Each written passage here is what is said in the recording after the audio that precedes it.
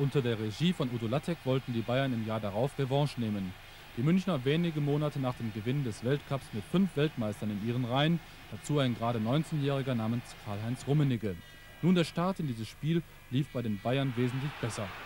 Uli Hoeneß und Klaus Wunder setzten sich gegen sechs lauterer Abwehrspieler durch.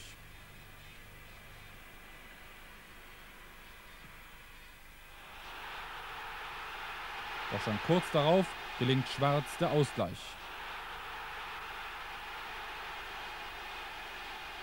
Kurz nach dem Seitenwechsel sogar die Führung für den FCK, eingeleitet von Sandberg, weitergeleitet von Klaus Toppmüller und abgeschlossen von Hannes Riedel.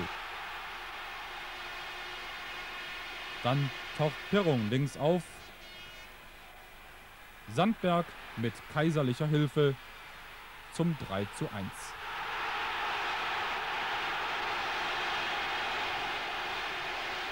Gerd Müller verkürzt aus 11 Metern zum 2 zu 3 und dies, obwohl Ernst Diel, der kleine Schelm, Müller am Trikot festhält.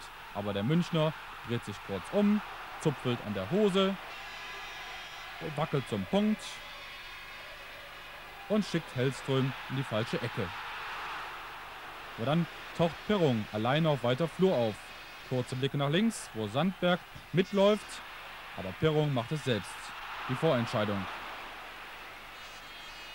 Klaus Toppmöller trifft sogar noch zum 5 zu 2, nachdem er den Ball artistisch mitgenommen hat.